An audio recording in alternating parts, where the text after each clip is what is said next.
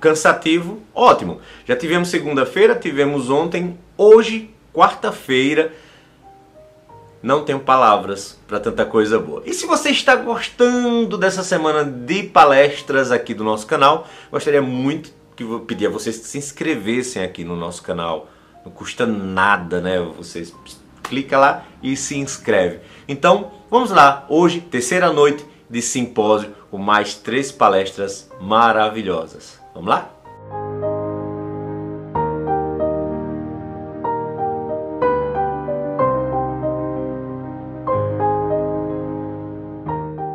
Olá, meu povo do cangaço na literatura. Eu me chamo Tássio Sereno, fui convidado por Robério para fazer parte dessa celebração de festa de mais um ano do canal. Então eu desejo mil felicitações, que Deus possa lhe, é, lhe abençoar da maior forma que puder, que seu canal cresça cada vez mais, que é um canal voltado para a verdade, para a ciência e o compromisso com a cultura nordestina. Não é só voltado para o cangaço, cangaço faz parte da nossa cultura.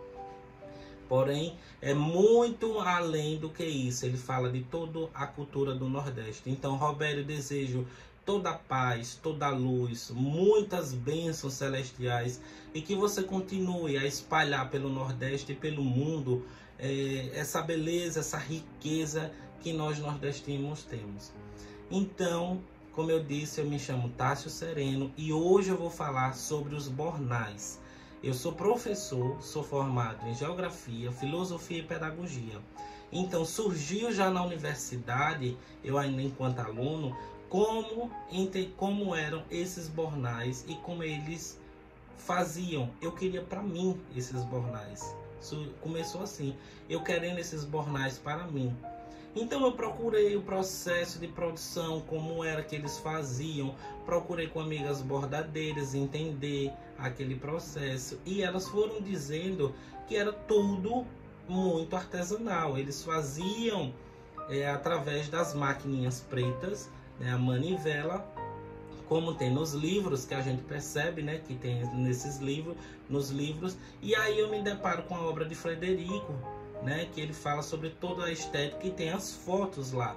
Então eu queria aqueles bornais para usar no meu dia a dia que eu achava lindo. Então a gente tem que entender que existiam dois tipos de bornais. A primeira curiosidade é essa.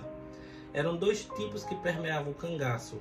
O de galão, o de galão em si são, já fala, é aquele galão, é, a fita galão que vai dar a beleza do bornal, ela é que enfeita. E o bordado, esse é um de mais requinte de luxo, porque quando a gente pega na história do bordado, a gente vai entender que o bordado chega no Brasil, só que o bordado sempre foi visto como requinte de luxo, né? Desde o cardeal Richelieu, que faz aquele, aqueles bordados de Richelieu, até os bordados convencionais, como a gente chama, bordado livre que na verdade o bordado do cangaço é o bordado chamado ponto costurinha, certo? Então foi assim que, que eles fizeram. Agora o que, que a gente tem que entender? Quais eram, eu me, eu me perguntava quais eram os materiais, como era a forma que eles bordavam, como era que eles costuravam, como era o corte. Então eu comecei a pesquisar muito, muito, muito, muito. Isso desde 2012, né? E aí aparece Robério que me ajuda tanto na questão de enviar documentos, de enviar é, é, apoio de material, fotos mais detalhadas, como também me ajudou né, na questão do maquinário. Roberto foi quem me deu uma máquina industrial, né? E a ele eu agradeço. É com ela que eu termino de fazer os bornais, bordo e costuro nela, né? Porque existe todo um passo a passo para fazer. Então foi nesse passo a passo que eu comecei a me pegar e querer entender o que era. Primeiramente, os bornais eles são feitos de tecidos grossos. Não existe bornal feito de tecidos finos, não, como hoje. Eram tecidos grossos porque nós estávamos numa época que as pessoas faziam as coisas para durar, não como não é como hoje, que faz no outro dia não presta. Então, eu me perguntava muito porque a forma que a gente aprende a bordar, né? Que a gente aprende a bordar, seja no YouTube, seja com amigos, seja com alguma professora de bordado, é a convencional. A gente borda, fica à frente bordado do desenho e atrás é, a costura. Então a gente às vezes forra aquilo para esconder a costura. Porém, o do cangaceiro não era assim. Né? A gente percebia que era uma alça grossa, porém atrás ficava com a linha branca. E era isso que eu me questionava. Como era que, como era que eles faziam isso? Então foi através que Roberto me cedeu algumas imagens e aí eu consegui chegar a 99% das réplicas, certo? E aí o que é que a gente entende? O, o, o bornal em si era esse requinte de luxo, era uma forma de você mostrar. Não existia essa ideia de uma hora usar o bornal de galão e agora eu vou para uma festa e usar o bornal bordado. Não existia, isso é balela. Existia o que? A gente produzia, fazia o bornal e usava. Cangaceiro não tinha armário, cangaceiro não tinha casa para dizer agora o momento de usar tal roupa e agora é o momento de tal roupa. Não, eles faziam, usavam, tinham aqueles bornais justamente para isso, para guardar uma roupa, um, um utensílio ali do dia a dia. Eram de dois a quatro bornais, como a gente sabe, dois maiores e dois menores, né? Quando se fazia os quatro, e aí eles usavam assim. Não existia essa coisa, eu vou agora usar o de galão, agora eu vou usar o de bordado porque eu vou para uma festa. Não, era tudo muito feito na hora e usado na hora. O que é que a gente entende? Como é que surgiu o bordado dentro do cangaço? O cangaço faz parte da cultura sertaneja ali, né, do sertão. Então o bordado era visto como requinte de luxo, quem tinha eram as melhores pessoas que tinham um dinheirinho a mais ali no sertão. Então, é, o bordado ele vem, ele já faz parte da vida do cangaço antes das mulheres entrarem. É nesse momento que a gente percebe nos fatos históricos que é quando Lampião e Maria Bonita se encontram através de uns bordados de um lenço. Ele pede para ela bordar, pergunta se ela sabe bordar e ela diz que sabe. Então ele, ela borda as iniciais no lenço dele. Então a gente percebe que o bordado ele já fazia parte da vida do cangaço entre das mulheres, certo? E aí a gente vê as fotografias do, do Bornal do Cangaceiro Medalha de 1925, da década de 20. Não existia tanta imponência como a gente vê né, nesses coloridos florais. Então, como foi que chegou os florais? Os florais chegam a partir do momento que as mulheres entram. É inegável a memória de Dadá. Então, Dadá é quem coloca essas flores nos bornais e faz para Curisco, como está documentado na história. Ela faz para Curisco e a partir do momento que Lampião vê e gosta, todos usam. Porém, a gente não pode negar e dizer que só Dadá era quem fazia. As mulheres, a maioria das mulheres costuravam, né? A gente tem relatos que Maria Bonita costurava, que Sila costurava, que Adília bordava, que ela diz que cobria, né? É, aqueles desenhos que Maria Bonita fazia. Então isso tudo a gente tem na própria, no, no, nos próprios remanescentes que dizem em entrevistas que eles fazem. Então, além das mulheres, os homens em si, principalmente os chefes de subgrupos, sabiam bordar e fazer esses bornais. Então, fica claro aqui para vocês entender que os, os, os bornais eles são uma peça de uso do dia a dia.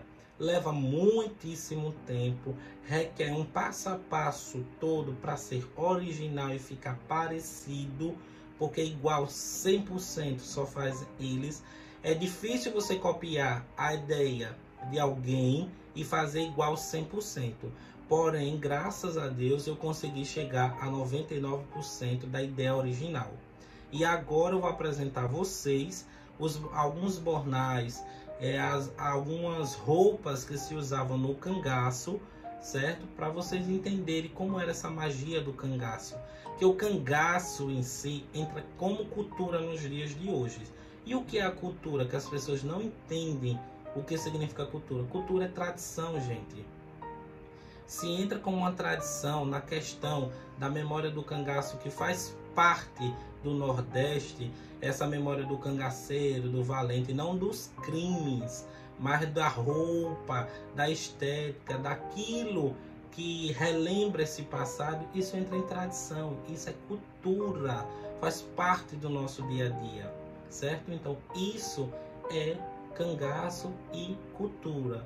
E nós vamos falar desse lado bom do cangaço, que foi a arte própria que surgiu dali. É uma arte, como o próprio Federico diz, não tem influência europeia. Nós estamos livres. São a, a, a arte brasileira verdadeira em si. Então nós estamos livres da Europa nesse sentido. Essa arte, mesmo que pouco valorizada, mas é a arte brasileira. Então vou mostrar a vocês os bornais, o bornal de lampião. Olha, primeiro a maquininha que eu bordo é essa. A maquininha deles era uma maquininha de pé ou de mão. A minha máquina de pé é uma máquina já mais moderna. A deles, eles faziam uma maquininha de mão, a manivela, certo? Com tecidos grossos. E aqui nós estamos com o conjunto réplica dos bornais que se encontravam na grota de Angico. Então, um borna, o bornal em si é essa bolsa, ó. Essa bolsa bordada, toda bordada, só não borda atrás. As alças bordadas, se vocês verem, são largas, são duras, gente. Era isso que me pegava, porque a deles não dobravam, tem que ficar assim. Você vê que tem uma cor atrás e na frente tem outra, que é igual de lampião, certo? Então, o conjunto dos bornais de lampião são duas bolsas dessa aqui, como vocês podem ver. Ó, duas bolsas dessa aqui atrás tem outra bolsa. Vem a caixa de farmácia. Aqui, ó. A caixa de farmácia em Flandres, ó. Tem que fazer em Flandres. A caixa como a dele. Borda tudo e aí você vai, aí a pessoa usa ela toda bordadinha e aqui a peça que se chama a chincha da cintura, que era a faixa que passa na cintura para segurar os bornais na hora que corriam. Então aqui é a réplica original dos bornais que se encontravam na Grota de Angico, que está lá no Instituto Histórico. Então, aqui é uma réplica do vestido de Dadá, aquela foto a gente vê o vestido de Dadá. Se vocês olharem, a gente vê que interessante são os galões, ó. Isso é que se chama de galão. Tem que fazer todo igual ao dela. Nos punhos, os detalhes e aí o vestido fica pronto. Uma curiosidade, cangaceiro usava só azul, só caque, só pólvora com farinha minha gente, a gente tem que entender que o mundo globalizado é no dia de, nos dias de hoje, no século 21. Eles estavam ali meio ao cangaço, ou em meio ao sertão, no cangaço, não eram eles que iam para a loja comprar, eles pediam aos coiteiros. Nós temos na documentação histórica que existiam momentos que eles usavam caque, quando você pega na documentação histórica, que eles entram em Poço Redondo eles estão em CAC. Quando você pega na documentação histórica que eles entram é, no, no Juazeiro do Padre Cícero, eles estão em CAC, sai de azul. Porém, não significa que isso é um uniforme de escola, que você vai ter que usar isso enquanto você estiver lá.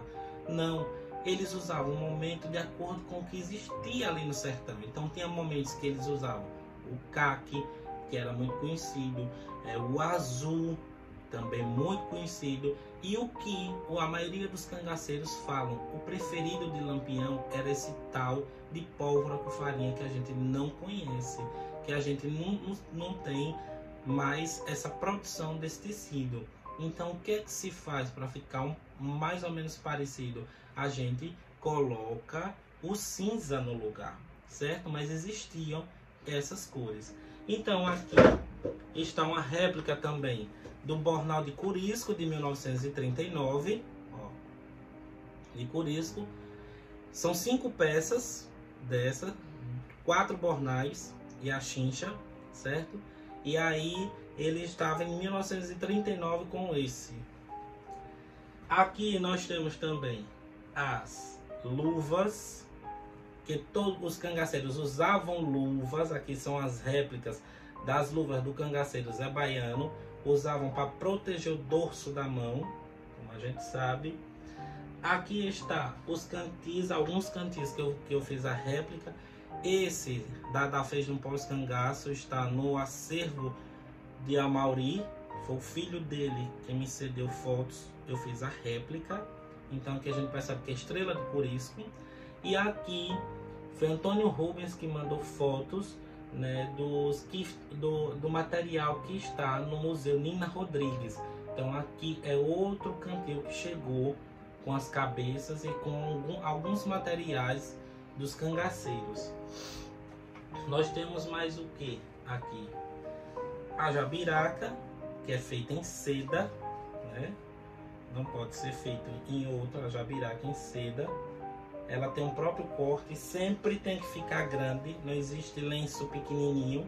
Existiam duas formas, agora o mais conhecido é esse, tem outro que é mais reto, o corte. Agora o que eles usavam era mais esse. E aí nós vemos um dos bornais que eu acho mais bonitos, é, mais bonito, é o meu preferido, posso dizer. É, é esse azul que Dada fez no pós-cangaço para Antônia Mauri e eu consegui fazer a réplica, né? Ela fez um e a chincha, um e a chincha. Se você ver ó, a chincha, ela fez isso aqui segura na barriga aqui a chincha, ó, a chincha aqui. E aqui aí para fazer o conjunto a gente faz outro e monta o conjunto. E rapidinho eu mostrar vocês aqui o que são bornais de galão, né?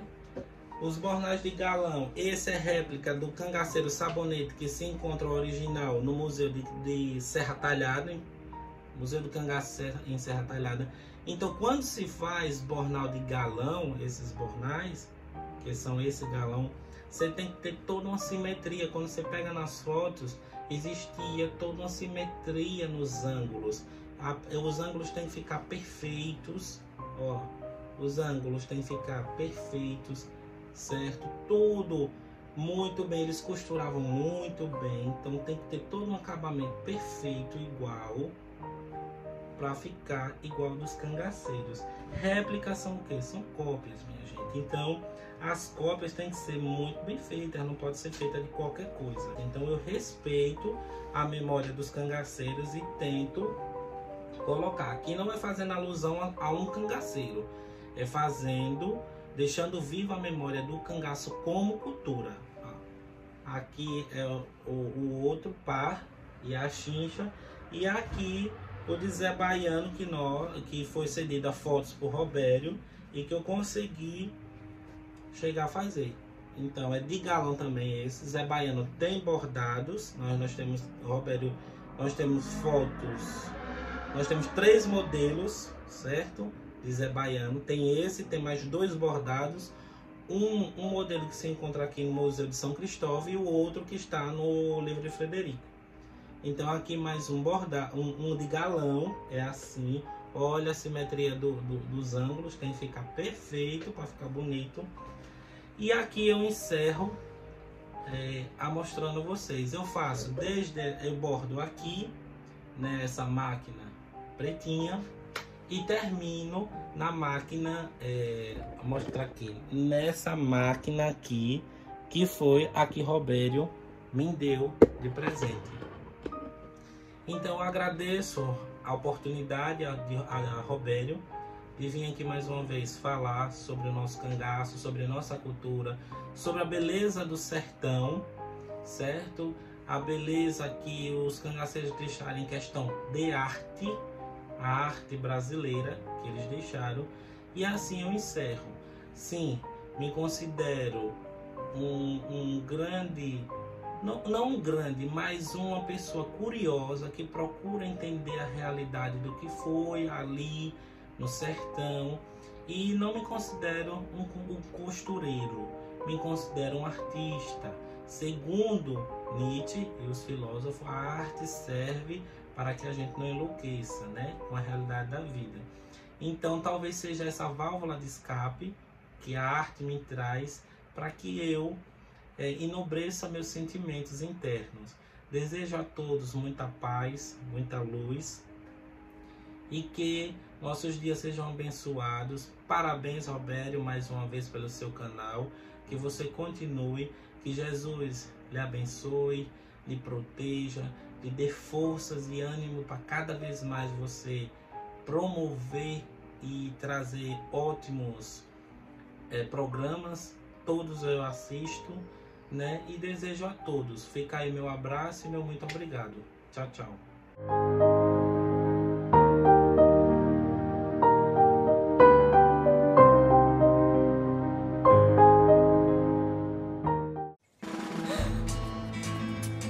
Cadê você, homem de Deus?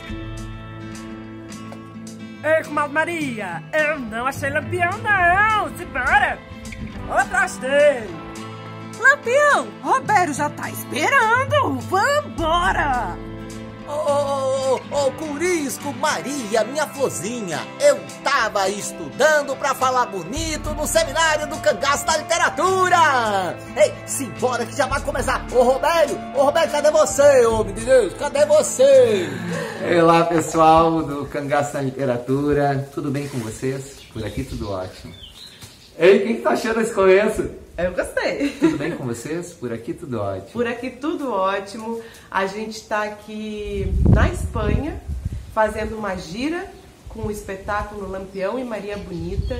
E a gente está muito feliz de estar tá gravando esse vídeo aqui. Nós somos o grupo Mosaico Cultural e vamos contar um pouquinho dessa história para vocês.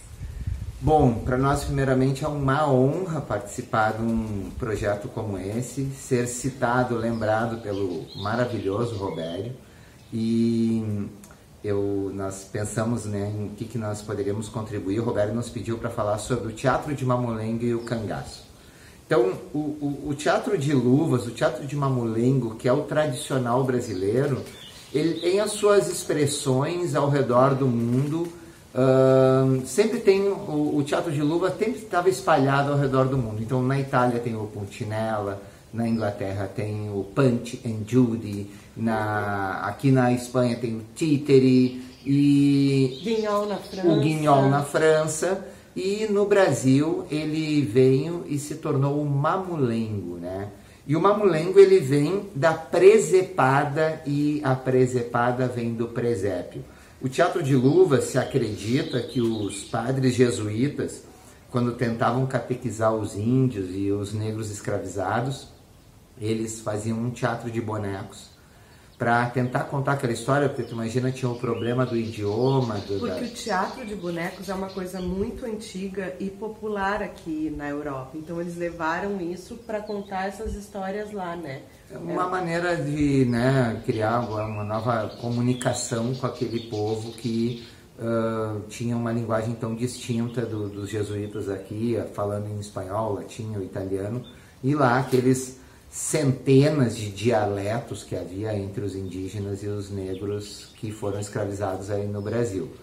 E aí acontece que durante o dia os padres contavam o presépio e à noite, quando os padres iam dormir, na, na escuridão da senzala, sob a luz das velas ali, os negros e os índios vestiam os bonecos e aí nasceu a presepada, que foi a inversão uh, do, do presépio. E aí os senhores do, do da, da, polícia, os coronéis, os padres passaram de, ao invés de serem lá os bonzinhos da história, quando caía na mão dos negros, obviamente, eles levavam pau, eles levavam toco.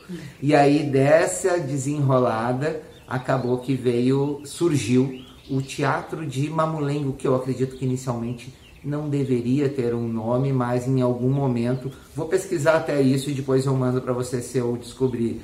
E aí vem o da mão molenga, mão. da mão molenga da manipulação, surge o mamulengo.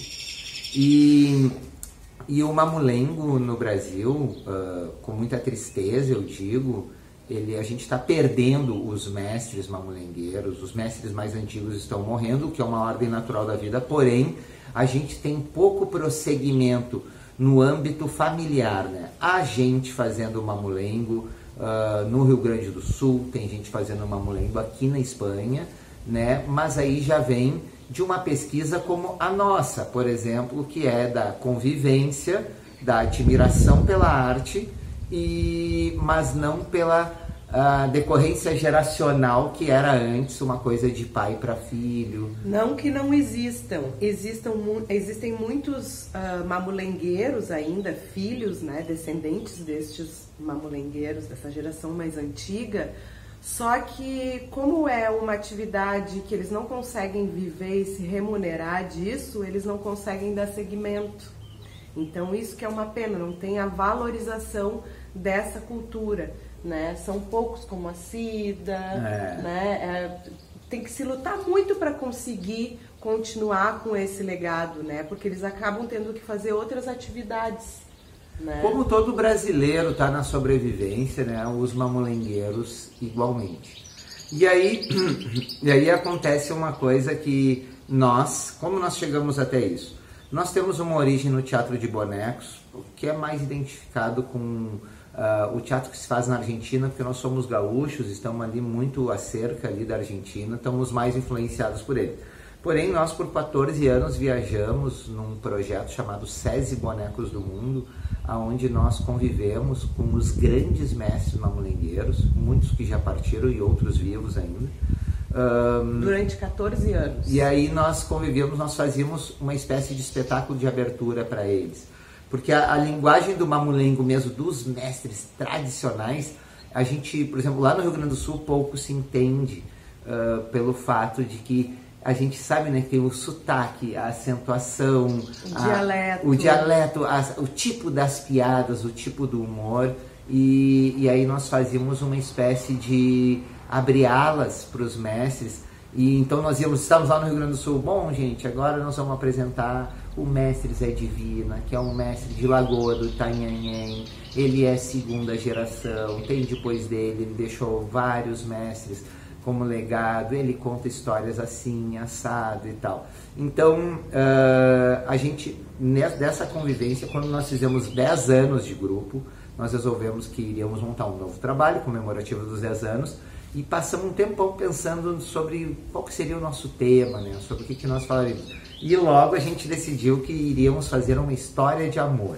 E a gente queria um tema universal, porque a nossa ideia era fazer isso que a gente está fazendo agora, circular uh, por esses festivais da Espanha, porque aqui uh, tem muitos festivais de bonecos de teatro de É verdade, é verdade. Ei, é Curisco mesmo. chegando na área, meu povo. É mesmo, Curisco. Tu tá aqui curtindo, né?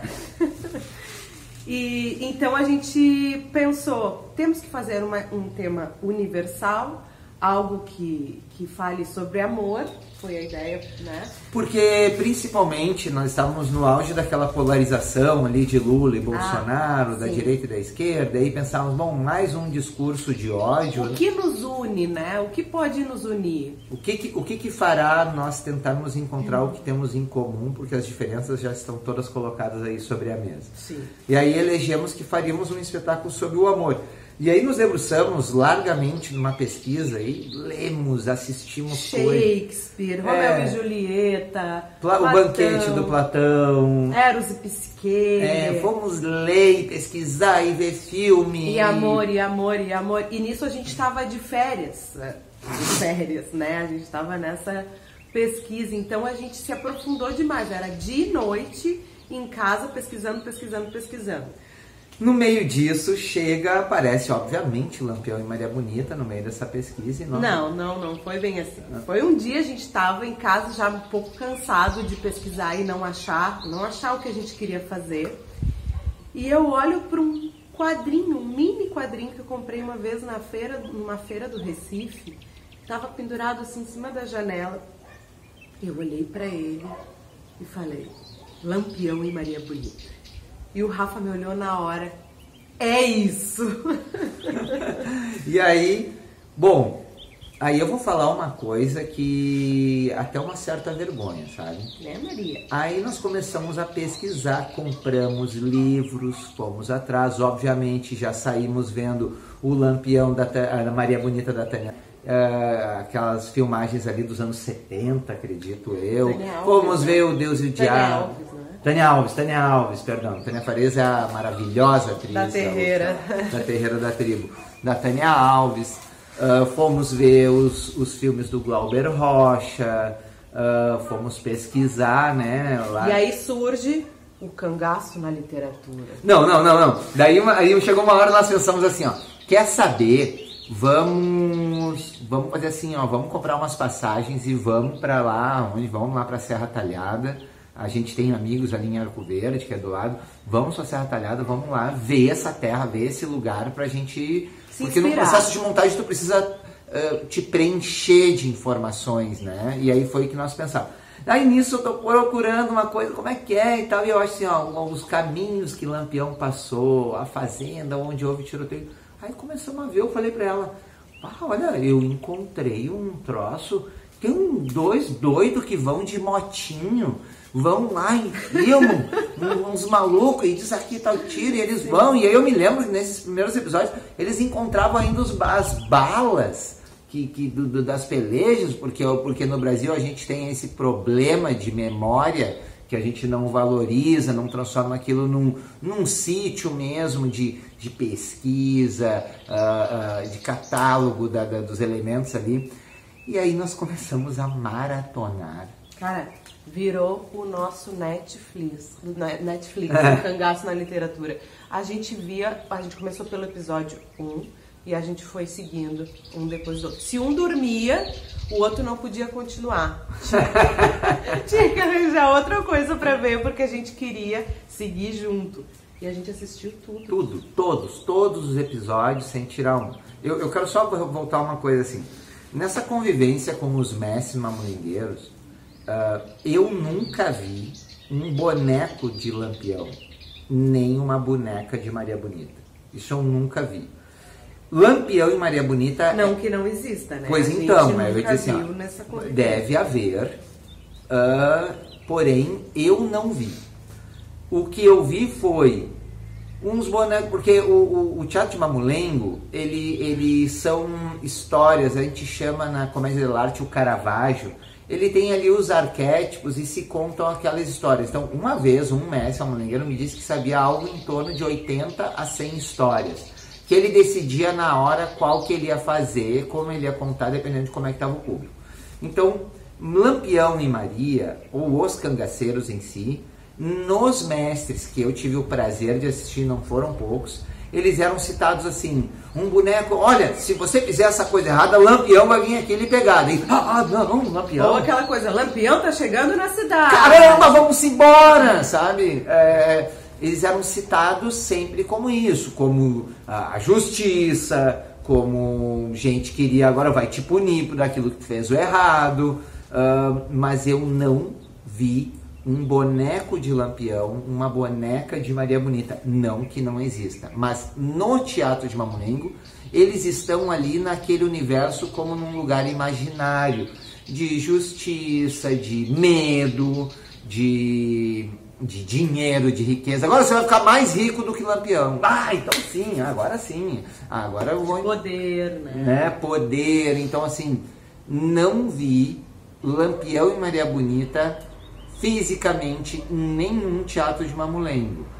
Talvez a gente esteja fazendo isso pela primeira vez. Talvez, tá? Mas podem ter mestres que tenham feito e eu desconheço, porque como a gente conhece tão pouco da nossa cultura brasileira, lamentavelmente, ah, acabou que eu não tive esse contato aí. Então, queria dar esse briefing. Até se alguém conhece, que por favor. Por nos- favor, nos apresente, que é tudo que a gente apresente. quer fazer. É.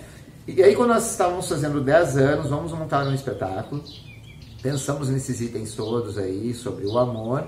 E não, vamos montar então Lampião e Maria Bonita para valorizar a cultura Uma brasileira. história autêntica brasileira. Para valorizar o teatro de Mamulengos, que sim precisa do nosso apoio, da nossa valorização. Quando a gente começou essa pesquisa, a gente viu que a gente não sabia nada da história do Brasil, do Lampião e Maria Bonita, sobre o cangaço. A gente teve que ir a fundo porque a gente não aprendeu na escola.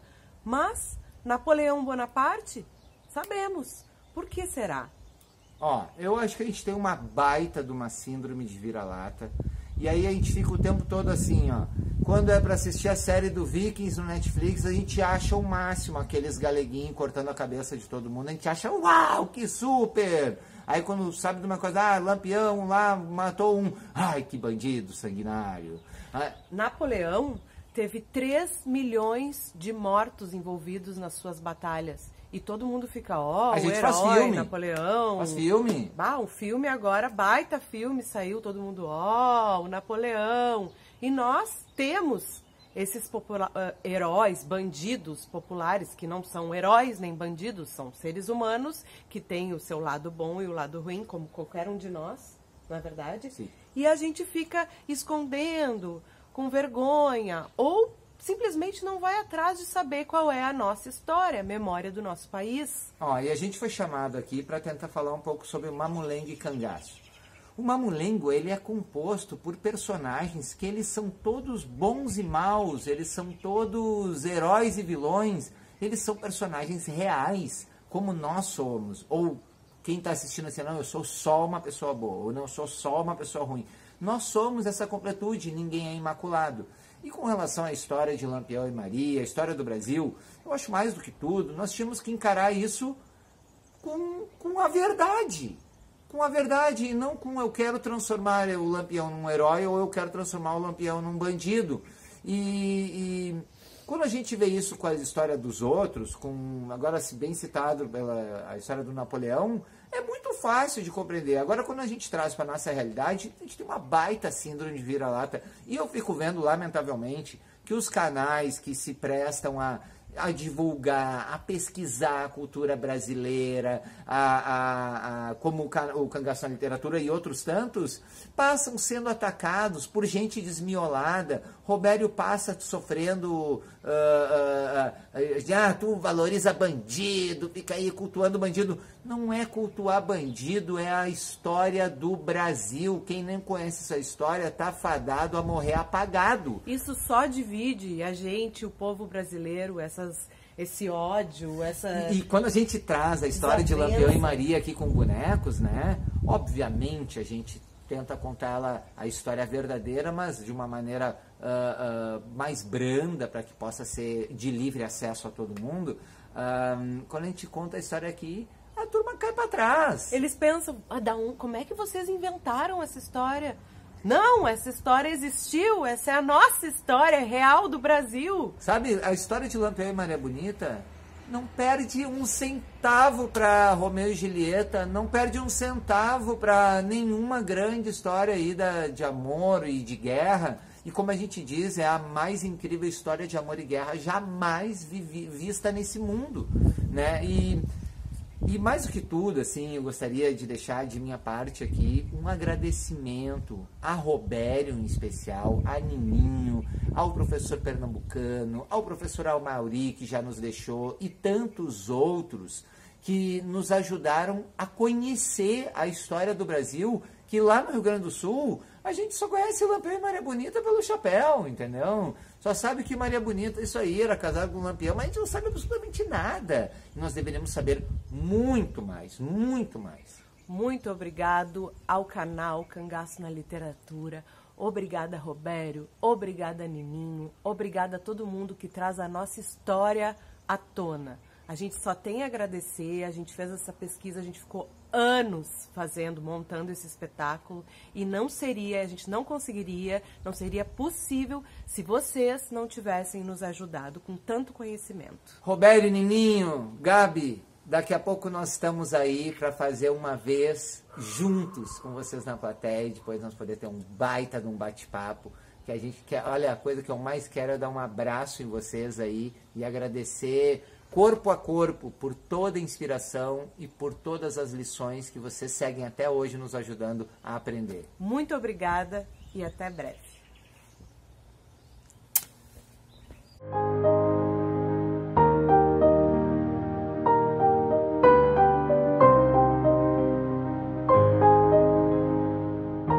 Olá, amigos do Cangaço na Literatura.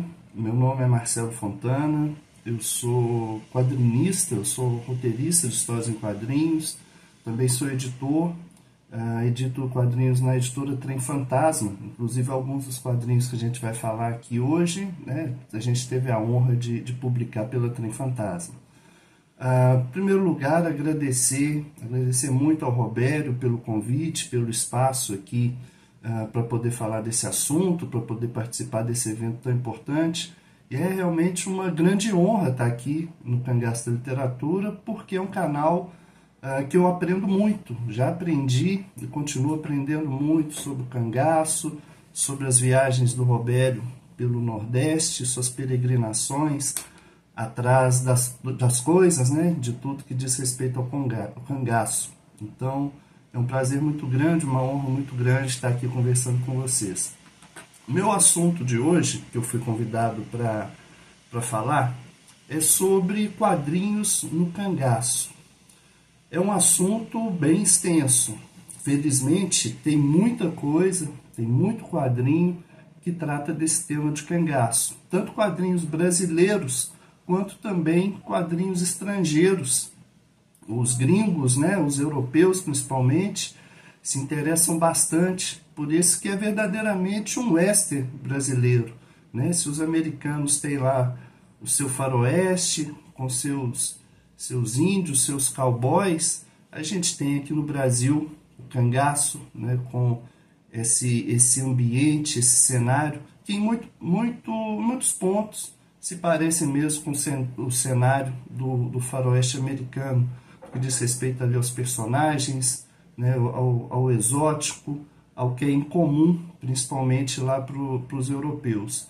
E aqui no Brasil, a gente, sem dúvida, uh, precisa estudar, precisa conhecer o, o cangaço e precisa também uh, que o cangaço esteja nas nossas obras, né, no cinema, na literatura e também nos quadrinhos. Né? É bom a gente, a gente destacar antes da gente continuar nossa, nossa fala, nosso bate-papo, né, na verdade, uh, que os quadrinhos, muita gente relaciona o quadrinho com, com infantil, como é o caso da, da Turma da Mônica, né? Todo mundo no Brasil cresceu lendo a Turma da Mônica. Uh, então, quadrinho Turma da Mônica, Disney, né? tem também a Turma do Chachado, que a gente não pode esquecer, que é um quadrinho infantil que tem a relação com o cangaço. No finalzinho a gente fala um pouquinho mais sobre, sobre o Chachado, do mestre, do Antônio Cedras. Mas o que eu estava dizendo é que o quadrinho ele é muitas vezes relacionado, relacionado com, com o que é infantil, o que não é totalmente verdade. Existem quadrinhos infantis? Existem muitos, são muito importantes, mas, assim como acontece com o cinema, com a literatura, uh, com o teatro, com todas as artes, afinal de contas, os quadrinhos, eles são, né, tem os quadrinhos para o público infantil e tem também os quadrinhos para o público adulto.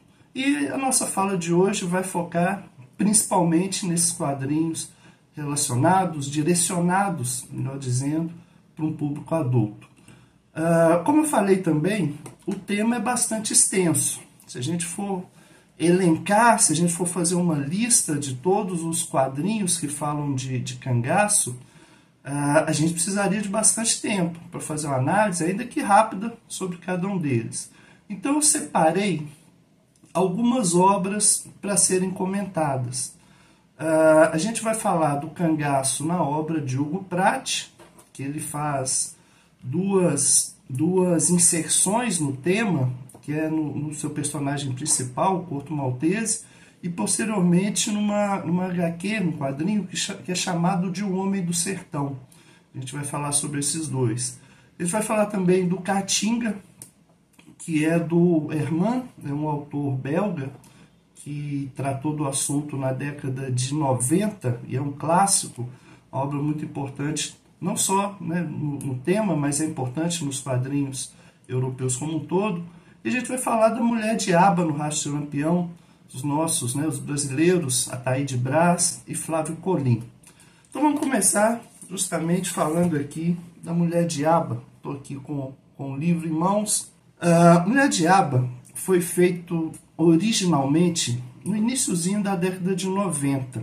saiu na Graphics, na Nova Sampa, uh, na série Graphic Brasil, que é uma série que foi criada para trazer histórias né, voltadas para um público adulto, é, com todo um, um capricho, né, um, um, requinte no roteiro na, uh, e na, nos desenhos, lá no início então da década de 90.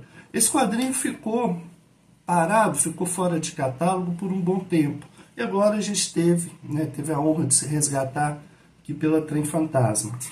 Ah, falar dessa edição que a gente tem em mãos, tem inclusive um prefácio, um prefácio genial que está sendo muitíssimo elogiado, feito pelo Roberto Santos, e tem também um texto feito por mim, né, em algumas pesquisas que eu fiz sobre o cangaço.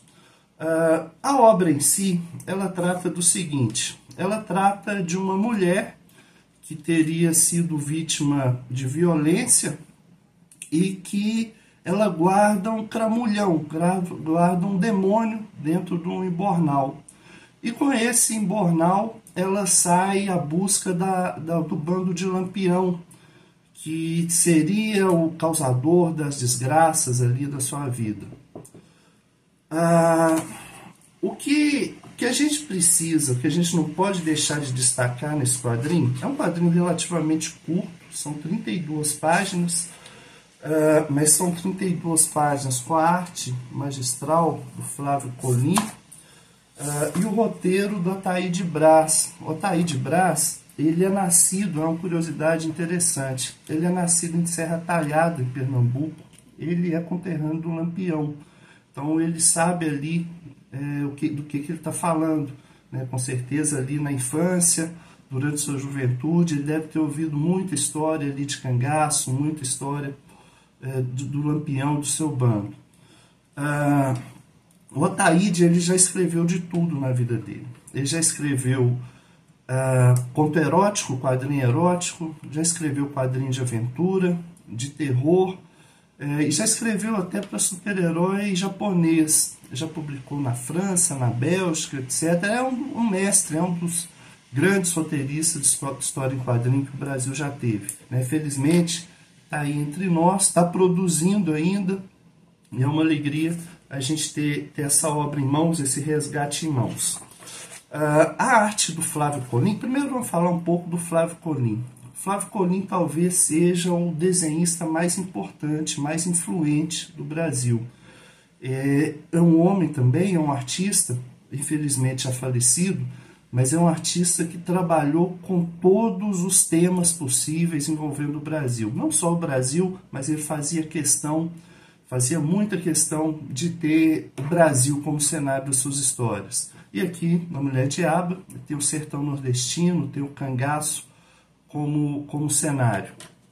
Ah, nessa, nessa obra, o Conin retrata alguns, algumas figuras históricas do cangaço. Obviamente tem o Lampião, né, o, o título, o Lampião está inclusive no título da história, o Lampião aparece.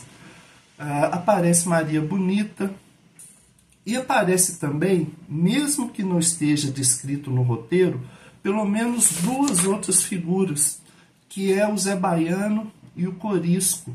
A gente consegue identificar no traço do Colim que ele usou como referência fotos desses dois cangaceiros, dessas duas figuras históricas. Ah, então a gente nota que houve uma pesquisa muito grande por parte do Colim para fazer essa para fazer essa obra. Tanto do cenário a gente consegue ver ali a aridez do sertão, quanto também na sua é, na caracterização dos personagens, inclusive pegando figuras históricas como, como referência. E em figuras históricas, em, aliás, saindo das figuras históricas, é bom a gente abordar também os fatos históricos que tiveram, que inspiraram a história da Taíde Braz e foram retratados aqui em Mulher Diaba no Rastro Lampião. E aí destaque uh, para o evento envolvendo o Zé Baiano, em que ele faz a marcação a ferro nas mulheres. Uh, isso é retratado aqui na história, embora em um contexto um pouco diferente. E aí a gente vê que no que acontece aqui na história, ao invés do Zé Baiano marcar as mulheres, que ele estava é, próximo ali a, a, marcar, ele acaba marcando um homem né, que aparece ali na, na, na hora. Né? Mas, sem dúvida, foi inspirado no que houve de fato né, na história do cangaço, esse evento que é tão, tão marcante. Então, continuando esse papo, aí a gente passa agora para a obra do Hugo Pratt. Hugo Pratt ele é um autor italiano e por muita gente ele é considerado o principal, o mais importante artista de quadrinhos do século XX. Então não é pouca coisa, com certeza não é pouca coisa. O Pratt ele tem uma vida e teve uma vida, infelizmente já é falecido também, é, mas Hugo Pratt teve uma vida que é de ficção. A vida dele é comparável às histórias do, dos seus personagens. Uh, e o Prat passou um bom tempo no Brasil, ele trabalhou na Argentina durante um bom tempo, e principalmente nesse período em que ele morava na Argentina, ele passou por vários lugares do Brasil, passou por verdadeiras aventuras no Brasil, inclusive no Nordeste, principalmente em Salvador. Uh, ele morou um tempo, viveu ali por um, por um breve período de tempo em Salvador, mas tem muita história. Isso tem muita história dele, né, envolvendo Salvador, e as vivências dele em Salvador, no Nordeste, também influenciaram bastante a sua obra. Uh, e aí, especificamente nesse álbum sobre o signo de Capricórnio, nesse momento que eu estou gravando o vídeo, esse livro, o livro ainda não está pronto, mas a gente está com a prova aqui do livro, já serve para já serve nossa referência, né? Uh, Nesse livro, nesse álbum sobre o signo de Capricórnio, Corto Maltese, Corto Maltese é o principal personagem do Hugo Pratt, ele vem para Salvador, ele vem acompanhando ali um jovem inglês que está procurando a sua irmã, que seria filha do, do, do, seu pai, durante o período que o pai esteve aqui no Bahia, ele vem procurar a irmã dele, que é a Morgana. Uh, a Morgana, ela é uma aprendiz de mãe de santo, e ela é a, a mestre dela, né, a, a, a, tutora dela, é a Boca Dourada, que é uma mãe de santo já bastante experiente. Mas né, não, é o, o, não são as aventuras em Salvador que são o nosso tema. Né? Mas o fato é que a Boca Dourada ela dá apoio para um grupo de cangaceiros e o Corto Maltese, o personagem né, do Hugo ele aceita a tarefa de ir entregar um carregamento de armas né, e dinheiro para o grupo de cangaceiros. Então ele desce o Rio São Francisco e vai entregar essas armas para os cangaceiros. Os cangaceiros na obra do Hugo Pratt, eles têm todo um aspecto de revolucionários, né? diferente do que acontece na história real, né? na história com H maiúsculo, Uh, nas histórias do Hugo Pratt, os cangaceiros têm essa aura de revolucionários, têm o um aspecto político na luta dos cangaceiros. E ele vai justamente encontrar um cangaceiro chamado Tiro Certeiro. A história em que Porto encontra, encontra com os cangaceiros é chamada de Samba com Tiro Certeiro.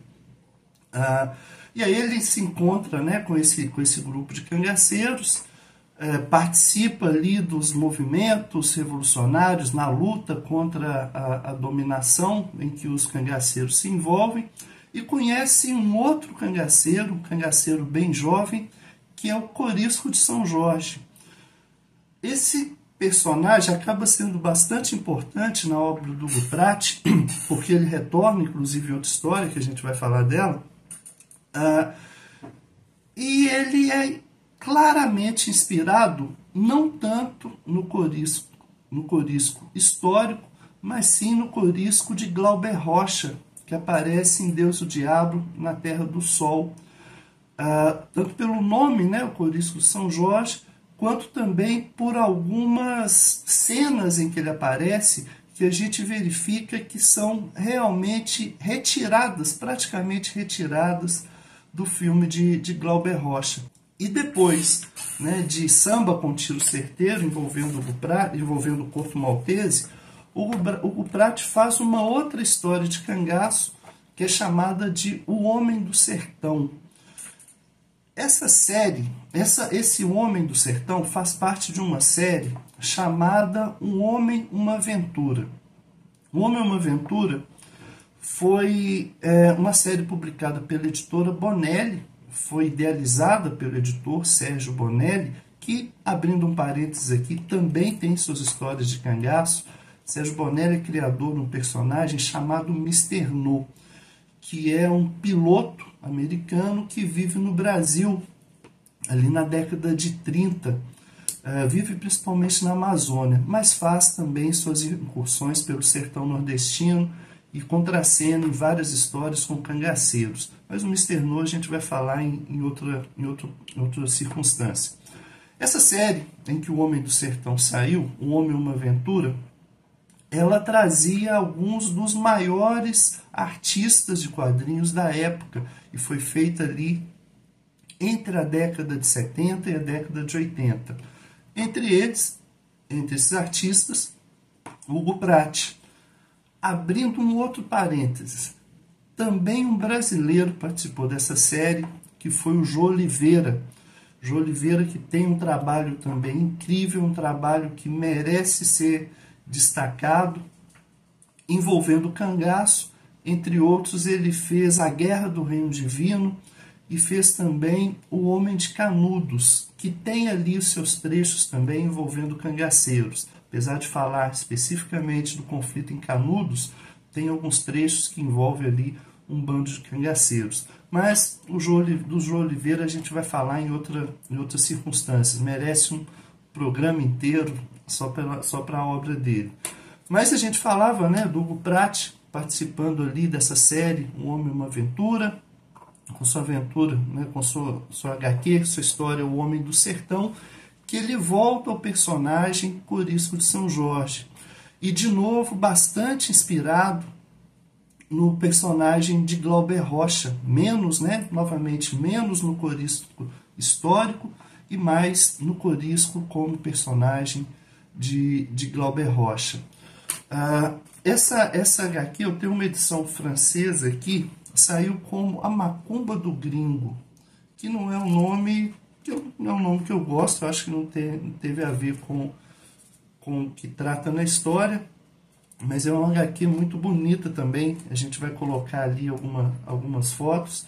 É uma HQ que ela é mais violenta, né? tem uma crueza maior gráfica do que costuma se ter nas histórias do Hugo Pratt, né? nas histórias em geral e principalmente nas histórias do Corto Maltese, que tem uma violência mais, né? existe ali a violência, mas tem uma violência mais velada.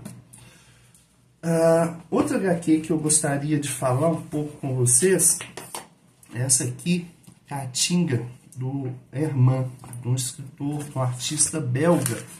É uma história que foi feita em 1997 e já foi publicada no Brasil logo no ano seguinte, 1998, pela editora Globo.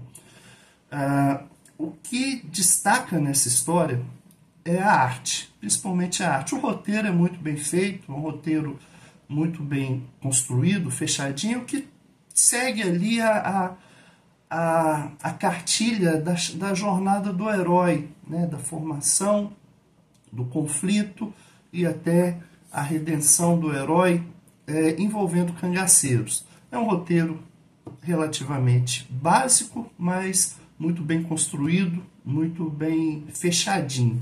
Mas a arte do Herman, a arte é uma coisa espetacular.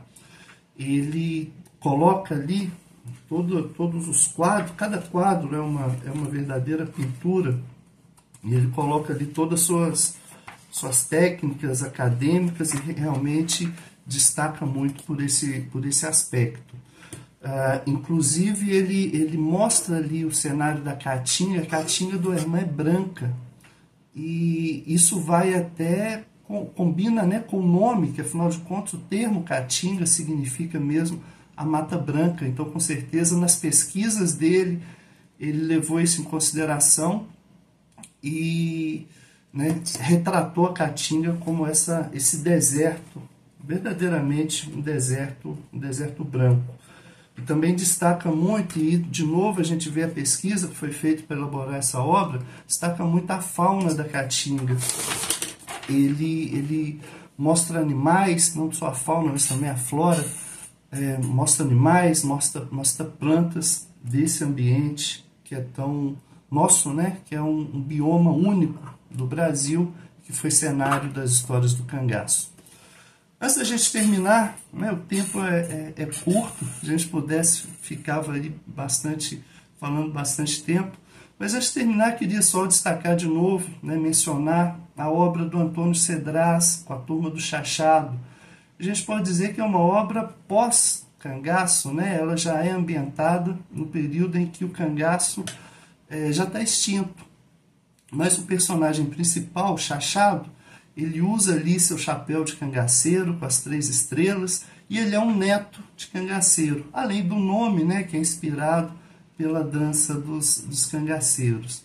Então, né, eu tive a, a, honra, tive o prazer de conviver com, com o Antônio Cedras, nosso mestre, né, que eu considero um verdadeiro mestre, ah, já nos deixou ah, há 10 anos, faz muita falta, mas sua obra está aí viva, né, mantendo aí seu, seu legado por gerações e gerações. Então, pessoal, muito obrigado pela atenção, né? Ficou várias coisas aí que a gente pode, quem sabe, já combinar para um próximo encontro. A gente pode falar do Mr. No, do Bonelli, que a gente acabou não falando. A gente pode falar da obra do Chico, que em certo ponto a arte parece bastante aqui com a arte do Herman de, de Caatinga o Chico tem uma série de cangaço que é o Carniça, também uma obra espetacular. Ah, e com certeza né, o Homem de Canudos, do Jô Oliveira, que a gente pode aprofundar mais também. Então já fica aí o meu, meu, meu pedido para o Robério permitir a participação em outros eventos futuros. Eu espero que com esse papo rápido eu possa ter instigado a vontade de vocês em ler e fico à completa disposição para responder perguntas, para comentários, né? a gente continuar aqui esse, esse bate-papo através dos comentários. Então, muito obrigado e permaneça aí à disposição. Obrigado, Robério, obrigado a todos do Cangaço na Literatura. Voltamos aqui, gente. Eu tô acompanhando com vocês também, em tempo real, aqui os comentários de vocês. Os comentários da segunda, de ontem, eu tenho certeza que terá muito comentário. Se você não concorreu ainda na segunda e na terça, dá tempo ainda. Tu volta lá e vê e coloca seu nome lá. Hoje estaremos sorteando Tupinanquim novamente. Obrigado aí, Clebson. E também o Quem Matou Delmir Gouveia. Segunda edição do Gilmar Teixeira tá aqui. Gente, o kit, como concorrer? Do mesmo jeito dos outros dias. É só você comentar, já vai estar concorrendo. Você pode comentar, gente, na segunda, na terça e, obviamente, hoje, viu? Obrigado, obrigado mesmo. Amanhã é nosso, nosso último dia de palestras, mas sexta-feira tem uma coisa maravilhosa para vocês. Valeu! Tchau e é isso. Nosso cangaço na literatura sempre inovando. Vocês gostam disso? Eu adoro. Valeu, tchau e corta.